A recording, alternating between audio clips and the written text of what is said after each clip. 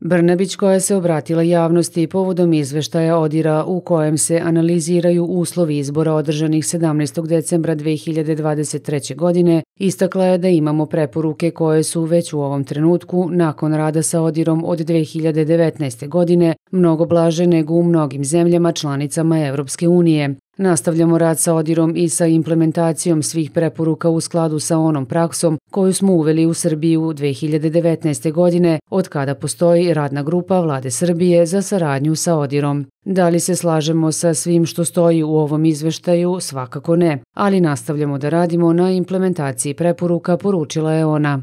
Nastavljamo da radimo sa Odirom i nastavljamo sa implementacijom svih preporuka ODIRA u skladu sa onom praksom koju smo uveli u Republici Srbiji 2019. godine, od kada postoji vladina radna grupa za saradnju sa ODIR-om. Cenimo ODIR, da li se slažemo sa svim što stoji u ovom izveštaju?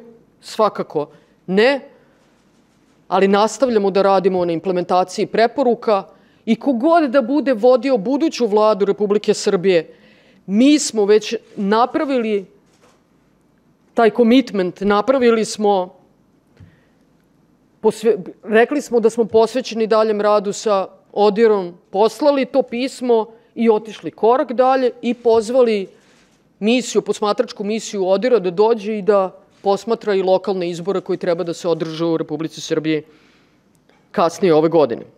Brnabić je izjavila da postoji ogroman pritisak članova Srpske napredne stranke na predsednika Srbije Aleksandra Vučića da se formira vlast u Beogradu, ali da će se razgovori o tome nastaviti i dalje.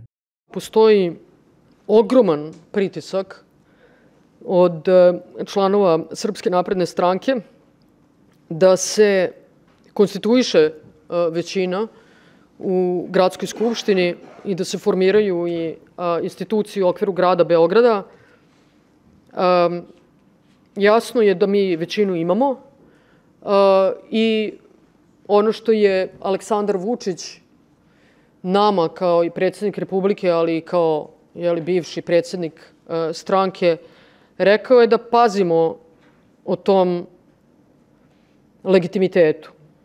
Uh, mnogi, mnogi misle da je legitimitet neupitan samim tim što je lista uh, Mi glas iz naroda za grad Beograd nosila ime uh, Aleksandra Jerković.